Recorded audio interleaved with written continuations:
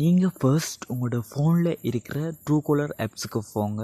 அங்கே போயிட்டு பார்த்தீங்கன்னு சொன்னால் மேல் மூலையில் ஒரு த்ரீ லைன்ஸ் இருக்கும். ஸோ அந்த லைன்ஸை வந்து நீங்கள் கிளிக் பண்ணுங்கள் கிளிக் பண்ணிவிட்டு பார்த்தீங்கன்னு சொன்னால் அதோட இன்டர்பேஸ் வந்து இப்படி இருக்கும். இதில் வந்து கீழே செட்டிங்ன்ற ஆப்ஷன் இருக்கும். அதை கிளிக் பண்ணுங்கள் கிளிக் பண்ணிவிட்டு பார்த்தீங்கன்னு சொன்னால் கீழே ஸ்க்ரோல் பண்ணிட்டு வீடியோக்கில் வந்து ப்ரைவேசி சென்டர்ன்ற இருக்கும். ஸோ ப்ரைவேசி சென்டரை கிளிக் பண்ணிவிட்டு அப்படியே கீழே வந்தீங்கன்னு சொன்னால் டிஆக்டிவ்னு இருக்கும். ஸோ அதை கிளிக் பண்ணிவிட்டு ஜிஎஸ்ஸை கொடுத்தீங்கன்னு சொன்னால் உங்களோட அக்கௌண்ட் வந்து ஆட்டோமேட்டிக்காக டீஆக்டிவ் ஆகிரும் ஸோ நீங்கள் வேறு ஒரு ஃபோன் நம்பர் கொடுத்து தான் இனி ரீஓப்பன் பண்ணலாம்.